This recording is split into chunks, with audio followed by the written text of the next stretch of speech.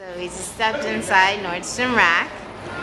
So far, uh, the the decor is much cooler than. Uh, Oh, those are stringy things. I didn't even notice that. That's 3D. I wonder if that will read. That's kind of interesting.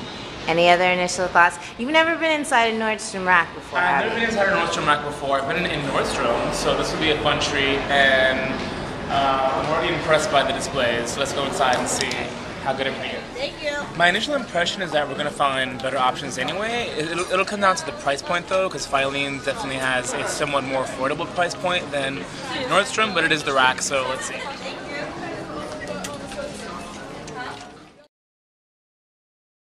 So we just walked into Filene's basement. What do you think of the displays so far? Um, it's fine. Like you know, it's, I've been here so many times. It's not as new as exciting as Nordstrom, but um, you know, it's very clean and austere. Is that the right word?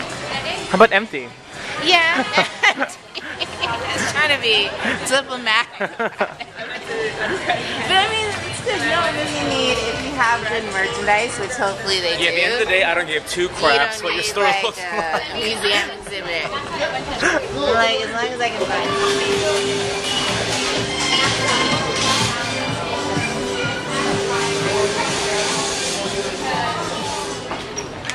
Okay, I can say right off from the bat, just based on the signage, they have a better handbag selection, but we'll get to that. We're gonna go up one more to, I think there's more women's stuff, so we're gonna start at the top and work our way down.